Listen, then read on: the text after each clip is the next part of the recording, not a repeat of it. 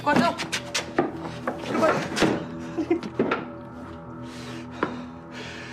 Quise terminar con mi vida, pero soy tan cobarde que no pude terminar con todo este desastre. Torcuato. Esta no es la solución a nada, Torcuato. Dámela. No, no puedo. Dámela. Me robaron todo. Mancillaron mi nombre. Me están robando mi amor. No me dejaron nada. Todos estos años de trabajo arruinados. Tienes que calmarte, Torcuato. Por favor, esta no es la solución a nada. Dámela. ¿Y vos me vas a dejar? Yo prefiero no seguir viviendo. No, no te voy a dejar. No te voy a dejar. Iba a la casa de mi madre, Torcuato. Tienes que entender. ¡Mentira! ¡Mentira! Si vos odias a tu mamá, te vas con él. No. Te vas con él. ¿No te das cuenta que te está usando, mujer? Que te están utilizando. Tienes que calmarte, Torcuato. ¿Cuántas veces estuviste con él? ¿Se besaron? ¿Te acostaste con él? Torcuato, tenés que calmarte, por favor. Es el mismo desde antes de la boda. Decime la verdad. Podés confiar en mí. ¡Quédate ahí! ¡Quédate ahí! Torcuato, deja eso. No, no, no, no, no, no, no, no, no, no, deja eso, deja eso. Deja eso, Torcuato. Deja, Torcuato, deja eso, deja eso, Torcuato, deja eso, deja eso. Dámela. Me quieres dejar. Por Dios, ¿qué estás haciendo? ¿Qué estás haciendo? ¡Quiero abandonar! Así como lo hizo mi papá. Mi mamá. Tranquilo, nadie, nadie te va a abandonar, mi amor, mi chiquito, nadie te va a abandonar. Tranquilo, tranquilo, mi chiquito, ya pasó, ya pasó, ya pasó, ya pasó, ya pasó.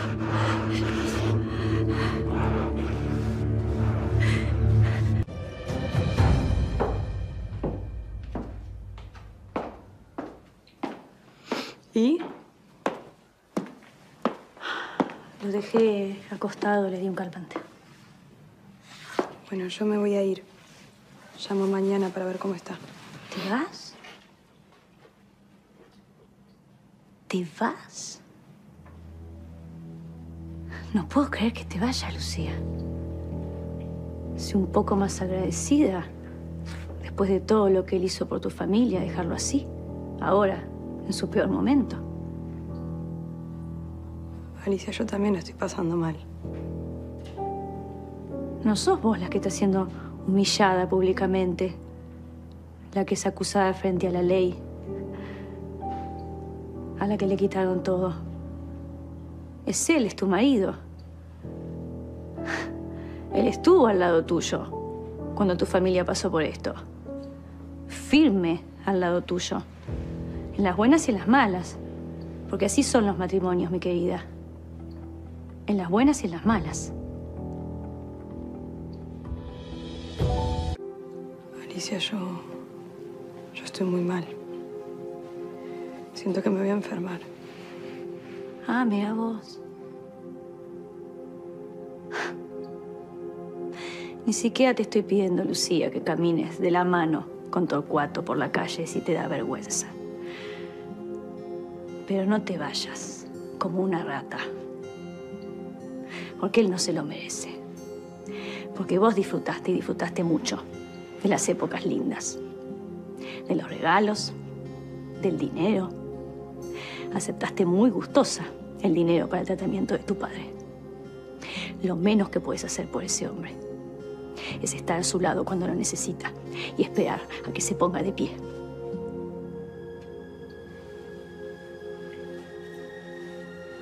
Perdóname, Alicia, pero no puedo. Si vos te No. vas, es el fin. Si vos te vas, lo destruís. Es el fin de mi hermano y el mío también. ¿Qué tenés que ver vos? Más allá de que tengo que estar atendiendo el teléfono todo el tiempo y de que me persigan acreedores y los diarios y de que estoy embarazada, es mi hermano el que está ahí arriba. Quebrado. Fuera de sus cabales. Y si eso te afecta a vos, imagínate cómo me afecta a mí. Yo entiendo, Alicia, pero eso es algo que vos tenés que hablar con tu marido. Él va a saber mejor cómo ayudarte. Yo no puedo hacer nada. No hace falta que pongas el dedo en la llaga, chiquilina. No es necesario. Sí. Ni siquiera sé de qué lado está Aldo. Y sí, yo podría tener en mi vientre el hijo de un traidor. Pero Torcuato es tu marido. Ese hombre único y maravilloso que está ahí arriba sufriendo es tu marido. Ese hombre que hoy casi se arranca la vida. Es tu marido. Y por humanidad te lo pido, no lo dejes solo. No lo dejes solo, no lo abandones cuando más te necesita. Porque si vos lo abandonás, él se muere. Y si yo me muero con él. Quédate, Lucía. Quédate. Quédate.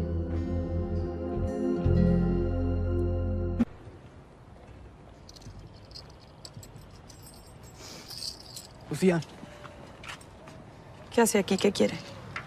esta es mi cuadra, vivo aquí. ¿Esta es su cuadra? ¿Que habla como un mafioso ahora? Sí, por aquí hay un mafioso, pero no soy yo. Bruno, vine a la librería un rato porque mi situación en esa casa es terrible. Por favor, ya tengo suficiente. Ya le dije que tiene que irse en cuanto antes. No es tan fácil irse. Lucía, entiéndalo. Está en peligro. Basta de decirme eso, Bruno, por favor.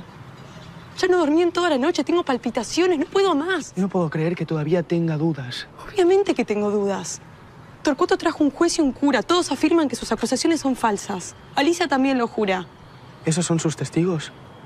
¿La hermana de Ferreira y sus lacayos? No son sus lacayos. Vaya al conventillo y pregunte. Raquel dice que es cierto. Gallo, Aldo, Córdoba. Pregúntale a Francesca quién mató a su marido. Esos son todos amigos suyos, Bruno. Torcuato trajo un juez de la nación, un juez honorable. Vaya al cementerio, hable con el sepulturero, pregúntele por la tumba de mi hermana y le dirá quién... Bruno, por favor, basta. Basta, me estoy por volver loca. Usted dice que corro peligro cerca de Ferreira. Yo le digo que corro peligro porque me estoy por volver loca. Usted me acusa de no creerle y Torcuato me acusa de que lo estoy dejando en su peor momento. No puedo más. No puedo más. Me van a volver loca.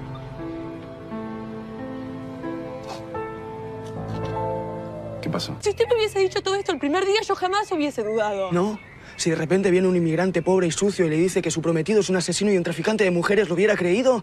Sea honesta. No sé, Bruno. No sé, pero ahora es demasiado tarde.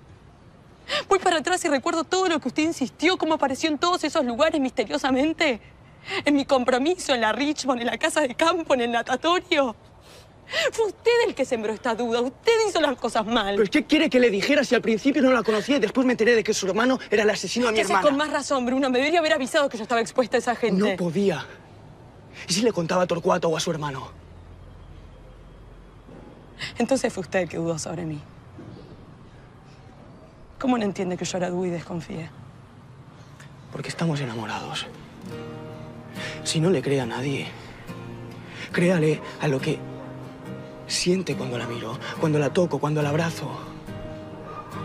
Lucía, con usted pasé la noche más feliz de mi vida. Nos hemos amado.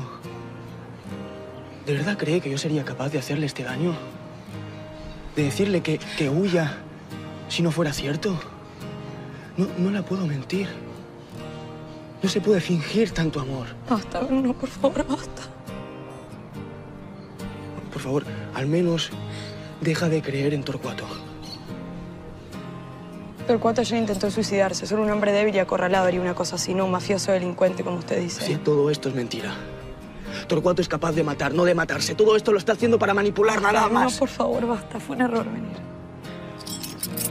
Lucía, Gloria, ¿puede venir a retirar esto de una vez, por favor? ¿Para qué paga uno servicio? Ah, miren quién llegó. Hola, mamá. La esposa del hombre del momento llegó. No sé si es conveniente que estés aquí, hija, ¿eh? Tu esposo está acusado de cosas muy graves. Tu presencia nos compromete a todos. mamá, por favor, no empieces. Venga a buscar a Lidia. ¿Dónde está?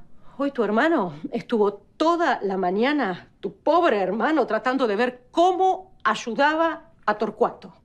Tu marido, que está acusado de ser un delincuente múltiple gracias a la obra de teatro que montó tu Te amante. pido por favor que no hables sobre el tema porque nadie sabe cómo fue.